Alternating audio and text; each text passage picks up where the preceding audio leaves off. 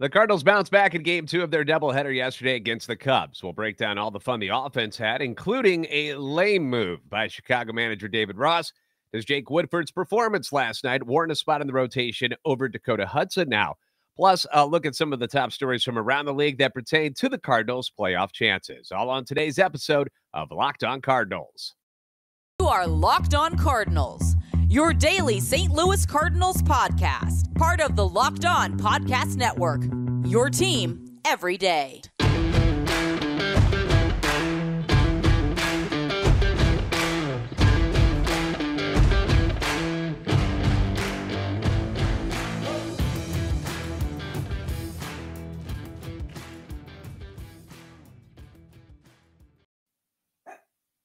I'm JD Hafford. I'm a national radio sports anchor, born and raised in the Lou, lifetime Cardinals fan, and I am your host for Locked On Cardinals, part of the Locked On Podcast Network, covering your team every day. You can follow me on Twitter at JD Sports Radio. Follow the podcast at LO underscore Cardinals. I want to thank those of you who make Locked On Cardinals your first listen every day. We are free and available wherever you get podcasts. You can subscribe on iTunes, Spotify, Google Podcast, on YouTube, obviously. Be sure to like and subscribe and comment. Very, very important. If you are on YouTube, which I very much appreciate as well, uh, make sure you are clicking the like button. You're clicking the subscribe button. Uh, if you're your first time coming to YouTube and checking us out, we appreciate you. Make sure you subscribe and everything. We are almost at 1,500 subscribers, which is great considering where we were just a month ago. Things are growing, things are going nicely. I'm sure it has nothing to do with me, but more with the fact that the Cardinals are winning ball games. But still, uh, it, it, helps the channel grow. The more that you like it, it uh, gets more views for everybody who might be looking up uh, Cardinals info, trying to find cool stuff. So um, help them find us. Help them find Locked On Cardinals. So uh, do that on YouTube. Once again, it's a show serving Cardinal Nation and giving the best fans in baseball all of the info about the birds on the bat. Now, it was a long day at the ballpark for the Cardinals yesterday as they played a doubleheader against the Cubs. Game one, straight up boring. All right. If you missed our video yesterday about that or you missed the podcast yesterday, not an exciting game. The players looked bored. Both sides really looked bored in that one. Uh, Adam Wainwright gave a strong effort, battle control issues, but the Cardinals offense, they pulled the Copperfield and just just vanished. Uh, in fact, if you count Monday night, when they only scored one run on Albert's blast. The uh, Cardinals only scored one run in 18 innings since coming to Chicago. That's not good. It's not going to get it done, which I mentioned in yesterday's show was a bit odd considering that Wrigley Field is known as the hitter's ballpark. So, uh, very strange that neither team putting up any runs. Uh, not like the Cubs were lighting the world on fire either. They scored just two runs in that same time span. But let's be honest, the Cubs offense compared to the Cardinals offense, kind of like comparing the NFL and the XFL. All right. Same sport, same field, totally different levels of skill involved there. Got to give a shout out to Wainwright. Uh, despite him throwing six innings and allowing just two runs, the Cardinals end up falling two to nothing and uh, get shut out for the 12th time this season. After the lackluster game, I don't think anyone was quite ready to hit the panic button, though. Teams falling in and out of ruts throughout the season all the time at the plate. Uh, the Cardinals had just smacked around the Rockies and the Diamondbacks last week. So, two games with little to no offense isn't something that I was ready to freak out about. Um, and judging by the reactions of Cardinal fans online, you felt the same way. It sucks to lose, really sucks to lose to the Cubs, but everybody took a deep breath, wanted to see what happens in game two. And boy, oh boy, were things a bit different. It didn't happen right away, though. In fact, the Cardinals were held scoreless for the first three innings, which ran their scoreless streak to 14 straight. I, I think a lot of us were looking around like like Kevin Bacon in the movie Tremors, which is one of those really good, awful movies. You know the ones that I'm talking about, which are just crap, but at the same time you love them. But in that movie, Kevin Bacon has that one scene where he's like, "What the hell's going on? I mean, what the hell is going on?" I feel like that's where we were yesterday against the Cubs when there was no hitting going on whatsoever. But finally, top of the fourth, they break through. Nolan Arenado launches one into the night in left field, his 26th tater of the year, gives the Cardinals a one to nothing lead, and you can almost feel like the the whole dugout just kind of had a giant. like a sigh of relief, like, okay, pressure's off. Let's get to ripping. And ripping they did. Next up, you had Nolan Gorman. Another nice at bat for the rookie. Works a full count, singles to center. And then it's my man, Tyler O'Neill, who hadn't homered since August 14th, but you know, it can happen at any moment with his power because he works out a lot. And Bro Neal makes an appearance and sends a hanging 1 0 slider, hits a freaking missile over the wall and left, and uh, it, it, went out like in a, in a blink. Like it was, phew, like I'm surprised cameraman even caught up with it. 108.8 exit velo on the home run, his eighth of the season. All of a sudden, it's three to nothing Cardinals, and things are clicking. Doesn't in there though. Corey Dickerson singles, Andrew Knizner singles, and that sends Adrian Sampson to the showers. He was the starter for the Cubs last night. Take care now. Bye bye then. Uh, Nicholas Padilla comes in next. Edman flies out, but then Newt works another walk. Show some love to Newt, man. 11 walks in his last 35 plate appearances with an on base percentage of 571. I love this dude. I love him. I think Cardinals Nation loves him. I think the the clubhouse loves him. He's really kind of stepped into where Bader was kind of that energy guy for the team. Now it's Lars Nootbaar. He's getting on base. He's making things happen, and it, it's fun to watch. Uh, that brings in Brendan Donovan, another OBP machine. He singles down the first baseline, scoring two. It's now five to nothing. Donovan in his last 19 plate appearances, batting 529 OBP, 579. And at this point, Newton Donovan need to be hitting one and two in the lineup at all times against right handed pitchers. There's no excuse for them not to be in there anymore, barring some sort of injury. Put young on the bench, Edman go over to short, Gorman at second, Newton right, Donovan, you can DH him or some combination of all of that.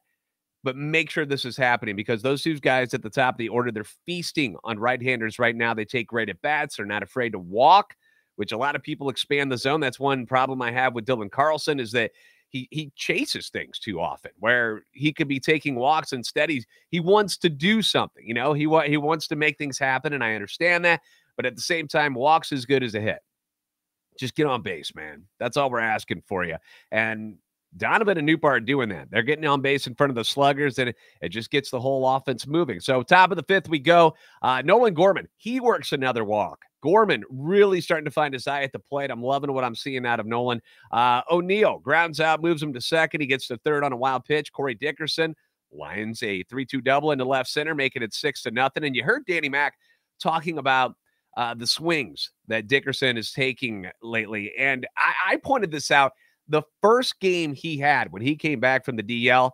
I noticed that he was just letting it fly. Like he is swinging hard like it's not it's not like he's just trying to put the bat on the ball. Like he's taking a mighty vicious cut up there and he's doing it early in the count and it's paying off. He's been an entirely different hitter ever since he came back from the DL. He's hitting 378 over his last 38 plate appearances and 390 since the All-Star break as opposed to before the break, he was hitting 202 and people like myself were like get him out of here. I knew that wasn't going to happen because they're paying him $5 million, but we were tired of seeing him just look awful at the plate. He's really turned things around. So uh, kudos to uh, Corey Dickerson. Top of the sixth, Tommy Edman leads off. He hits a blast to left center, his ninth of the year at seven to nothing. Meanwhile, Jake Woodford throwing a doozy of a game, gives away to Chris Stratton. Damn glad to meet you in the sixth inning after allowing a run. Stratton throws a scoreless inning, and Danny and Brad Thompson brought up some adjustments that Stratton had made, something either pitching coach Mike Maddux picked up on, or something maybe his new teammates helped him out with because they're all really good at communicating and uh, finding things to help their teammates out. But he's been pretty sturdy, quite sturdy. Um, coming out of the bullpen recently, hasn't been scored upon in his last three outings, and that's what you need out of him, you know. Uh, Matthew Liberatore, he gets in the game in the seventh. He strikes out the first two he sees, looks fantastic. Bottom of the eighth, things get a bit shaky with two outs and a runner on first. He gives up a single, then a wild pitch, scores a run. Then uh, Franmil Reyes bloops a double into right, scoring another run, making it seven to three. Um, Libby just missing his spots there. Really plain and simple. Wasn't anything wrong with the stuff he was throwing up there. He was just missing a few inches here and there. And the you know big league hitters are going to take advantage of that. Uh, that takes us to the ninth inning where the Cardinals are fed up with the Cubs and they go KGB style from the movie Rounders. If you haven't seen it with Matt Damon in it, fantastic flick, especially if you like uh, card movies about uh, poker. Um, KGB and that one. No more tonight. Not tonight. He get, he gets all worked up in that one. It's a fantastic scene. Uh, John Malkovich plays KGB. Got to check it out if you haven't seen it yet. Anyway, Gorman walks again. O'Neill walks. Dickerson singles. Bases juice. Knizner walks. Forces in a run. It's eight to three. Edman goes Oppo and almost hits his second dinger of the game. It's a double, two run score, 10 to three for sure. Major League Baseball had Tommy Two Bags peeing in a cup after the game, checking him for PEDs with back to back power displays like that. Uh, Carlson drives one into left center for a two run triple, makes it 12 to 3.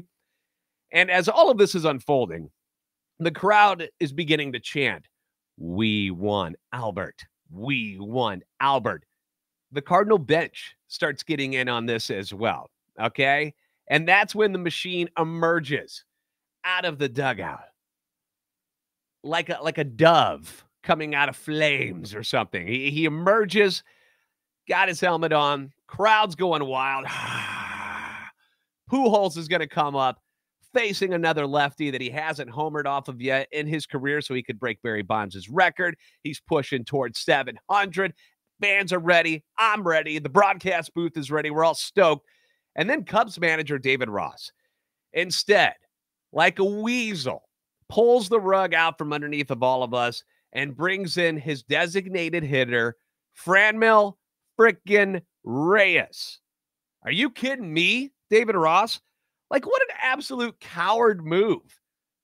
And just ruining it for all of the fans, not only in attendance at Wrigley Field that night to watch your crap team, but also the the thousands and thousands who are watching at home, just looking for an Albert at bat.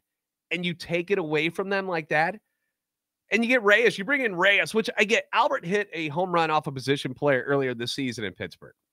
So it's not like these guys are usually very good. They lob it up there. Maybe Albert hits one. I, I understand that point of it. But Reyes comes in and, and he thinks he's a real pitcher. He throws two in at 82 miles an hour at the top of the zone for strikes. Albert's like, okay, uh, all right, what do we do here? I guess I guess we're we're going at it, dude. Um, and then the turd tries to break off a curveball and he hits Albert. It plunks him. Albert goes to goes to first base. So disappointing. I hope David Ross stepped on a Lego while barefoot when he got home later that night. Brutal. Uh, Goldie swings at the first pitch because he's over this nonsense, which comes in at 86 miles an hour. Like, what's Reyes doing? Anyway, grounds into a double play, but another run scores 13 to 3. Then De- DeJong strikes out looking on high heat to end the inning. Uh, but what an inning for the Cardinals. They blow it open. They go on to win at 13 to 3. That coupled with the Dodgers whooping up on the Brewers gives the Cardinals a five and a half game lead in the NL Central. Lots of offense. Arenado, three for four, solo home run. O'Neill, two for four with a dinger and two runs scored. Dickerson, four for five, two runs and RBI. Edman, two for five, home run, three ribbies, two runs scored. Gorman, one for three, but walks twice, three runs scored. Donovan, two ribbies. Carlson, two ribbies. It was a lot of fun. Way more fun in game two than we had in game one. That is for sure. Uh, pitching wise, Jake Woodford, spectacular. We're going to talk more about his effort next and whether or not he should be taking over that fifth spot in the rotation currently held by Dakota Hudson. So we'll get to that next. First, though, let's talk about something that's pretty serious. Okay. Let's bring down the lights just a little bit. Imagine yourself hanging out with friends and you're putting back a few drinks. You're having a good time. You're watching the Cardinal game and you're like, yeah, poo holes or woo, I love Tyler O'Neill, whatever, whoever you're rooting for. A few drinks becomes a few too many. And as the evening comes to an end and people start to head out, you think of calling for a ride. But nah, you live nearby. You can make it home okay. It's no big deal. What are the odds you're going to get pulled over anyway, right? And even so, what's the worst thing that can happen? What, your insurance is going up? That's no big deal eh, you lose your license. That, that sucks. What about losing your job? How about you total your car? That's expensive. Even worse, you hurt yourself or you kill someone. Everyone knows about the risks of driving drunk. The results are tragic and often deadly. However, that still doesn't stop everyone from getting behind the wheel while under the influence. That's why police officers are out there right now looking for impaired drivers on our roads to save lives.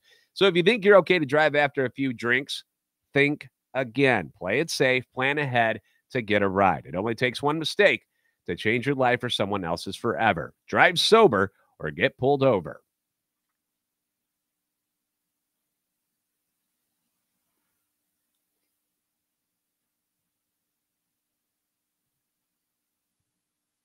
So last night in game two, Jake Woodford got the ball and did an excellent job. I mean, nothing really bad to say about what he did. Gave his team a chance to win. Final line on the night, five and a third, one run, four hits, one walk, one strikeout, gets his third win of the season.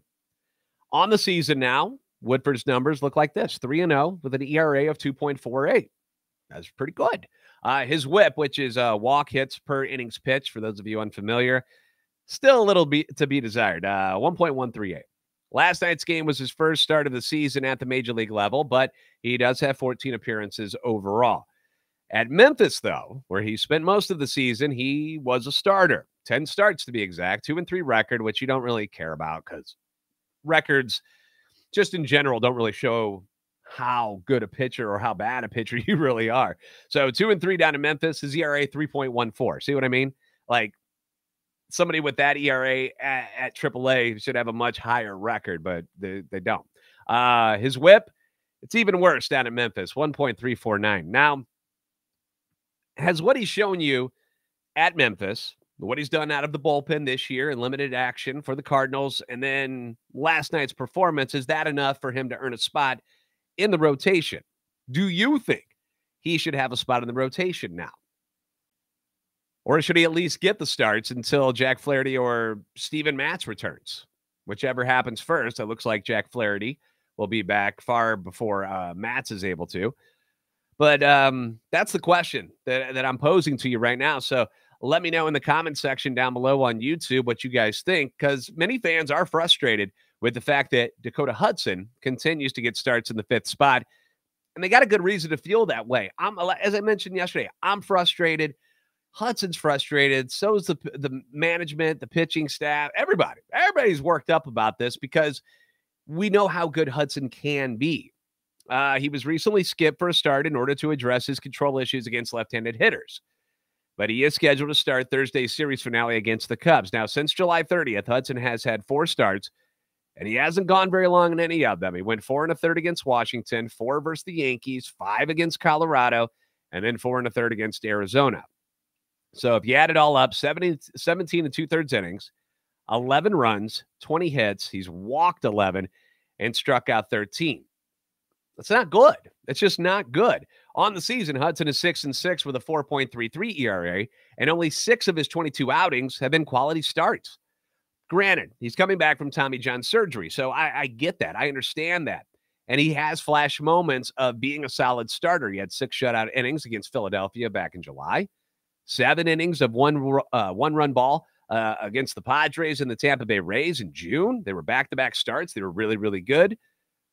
But more times than not, he's putting the team in a hole that they got to climb out of. And at this point in the season, can you really continue to put him out there? A lot of people say no. A lot of people say no. Um, as I mentioned, he's going to get the start on Thursday after last night's game. Uh, Ollie was asked about it, and according to MLB.com's John Denton, he said, Not right now. I'd like to see Hudson pitch on Thursday. I think we're at a point where we have out if Woodford has staying power. Again, in Denton's article, Marmol says the, the Woodford Hudson debate will move closer to the forefront of his thinking, especially with Hudson set to make a start with his job potentially on the line. Marmol wants to see Hudson embrace the challenge and enjoy the success he's had in the past. This is another quote from Ollie.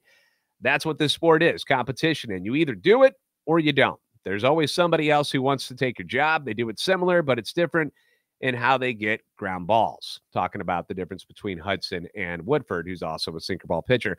Now, one way to look at this is the team is giving Hudson way too long of a leash. It's hurting the team, putting them uh, again in a hole that they got to continuously climb out of, and then you got to have the bullpen save them. Then on the other side, you got to remember you're you're giving a young pitcher who's coming back from a very tough injury a chance to earn his spot. Since July, the Cardinals are two and five in games that Dakota Hudson has started, but in August they're two and one. Personally, I am ready for a change. I, I'm kind of over the Hudson thing. They clearly want Pallante in the bullpen, which is somebody people will inevitably inevitably bring up as well. Pallante should be starting. They like him in the bullpen. He throws strikes. He's doing great there. They don't want to keep moving him back and forth. So I get it. So if Hudson struggles on Thursday, I, I think that's going to be it. Uh, you got to remember again, Flaherty could be activated soon as the series in Cincinnati, as soon as the uh, series in Cincinnati, which is coming up next week, or possibly September second. So, uh, barring any setbacks this probably won't matter all that often anyway, uh, because uh, he's just, there's not going to be that many opportunities for him to start anymore anyhow. Um, if Flaherty comes back up, he's going to get the spot. They've already said that they, they're, they're going to start him. He's not going to be a bullpen guy. So you'd be set. You'd have Mikolas, Wainwright, Montgomery, Quintana, and then Flaherty, and that's it. So, um, so like I said, it probably won't matter soon anyway what Dakota Hudson does, but it's what Cardinals fans are talking about. So those are the numbers. Feel free to debate down below in the comments section on our YouTube page. Hit us up on, on our Twitter pages as well. Uh, up next, we're going to run down the top stories in baseball, including one former MVP who is set to return for a playoff contender in the National League. BetOnline.net is the fastest and easiest way to check in on all your betting needs. Find all your favorite sports and events at the number one online source for odds, lines, and games. You can find reviews and news of every league including Major League Baseball. I mean, you really want to make the Cardinals games fun and stressful at the same time. Put some money on uh, on the baseball games and uh, and see how that works out for you because uh, it can be a lot of fun when you win. And it's tough when you see the Cardinals, like, you know, Liberatore yesterday. He starts giving up runs. You're like, no, stop it. I got money on this. Um, in the end, they did fine. But uh, NFL, obviously, people love betting on NFL games. Preseason still going on. NBA, you got NHL, combat sports, esports, even golf. Bet Online continues to be the top online resource for all your sports wagering information from live in-game betting scores and podcasts. They've got you covered. Head to Bet Online today, or you can use your mobile device to learn more about the action happening today. Bet Online, where the game starts.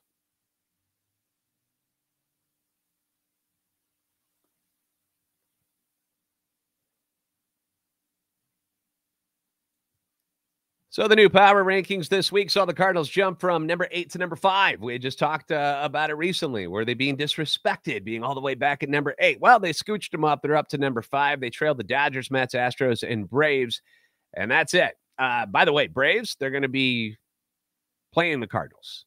They got a series this weekend at Busch Stadium, which is really going to be a good test on whether or not the Cardinals do belong with the big boys or not. That's going to be the test because Atlanta, oh, they're really good. Uh, Yankees, Phillies, and Padres all fall behind the Cardinals this week.